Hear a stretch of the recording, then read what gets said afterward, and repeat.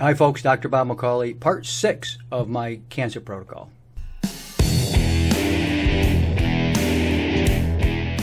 Digestive health. All disease comes from our diet, and it doesn't come from our genes, and therefore the body is capable of healing itself of any disease. So, this is a very empowering message. So, you know, since all disease comes from our diet, well, it's the most important thing we need to do is think about how are we going to digest our foods? What, how are we going to help digest our foods? And what do we what things do we need to put into our body to make sure that happens properly? So what we're talking about is probiotics, the friendly bacteria, prebiotics, fermented foods, and digestive enzymes. And all three of those are very, very important for our digestion and breaking down foods, breaking down nutrients so our body can absorb the, the nutrients that you find in your foods. People, you've always heard the phrase, you are what you eat.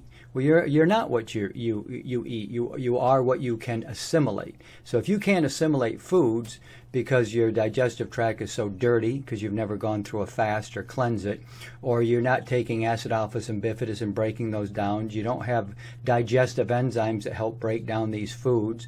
Uh, you've lived on a cooked food diet your entire life. Maybe it's a junk food diet, fried food diet, fast food diet, and your body stops producing all these digestive enzymes things like lipase, lactase, uh, protease, all these break down digest uh, uh, you know foods in different ways, and we need all these these um, these enzymes. Amylase is another one. That's a good example of one that breaks down carbohydrates. So you got to have these in your diet at all times. Well, if you live on a bad diet, well, you're going to have to start supplementing with them and you know that's what I highly recommend, especially if you've got a serious disease such as cancer.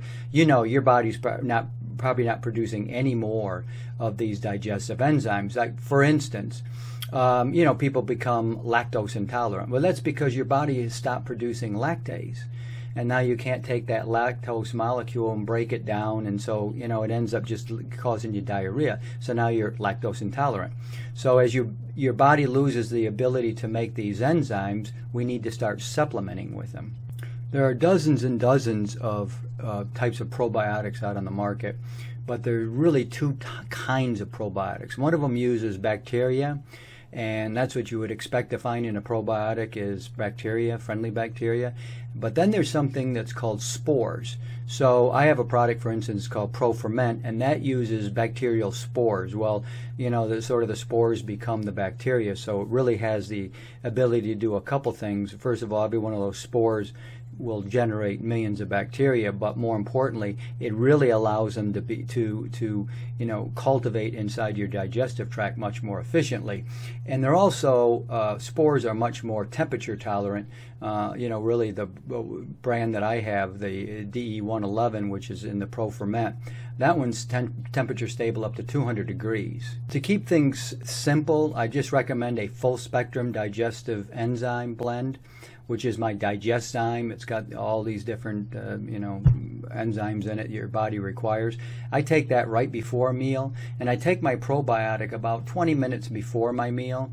Um, and you know, you can take some of the probiotics, um, you know, with the bacteria and some with uh, with the spores, it doesn't really matter, but you want to take that about 20 minutes before you eat, and you know the digestive enzymes just a few minutes before or with your meal, and that'll give you really, really excellent digestion. You've got to have a probiotic in your diet if you want to be healthy, and in particular, if you have this serious health challenge such as cancer, you're going to need a probiotic because I'll say it again all disease comes from our diet.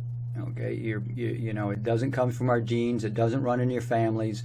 Uh, you know, you, you see cancer running in families. It's got nothing to do with your family genes. If you're being told that, well, you know, now it's your turn. Everybody in our family gets prostate cancer. Everybody in our family gets breast cancer. Now it's your turn. You just have to go through this. You know what? Just reject that and know that your body can cure itself of any disease. And all disease starts in the digestive tract. We want to keep that as clean as possible, working as perfectly as possible. And probiotics, and prebiotics, and digestive enzymes are the way to make that happen. Dr. Bob, I'll see you next time.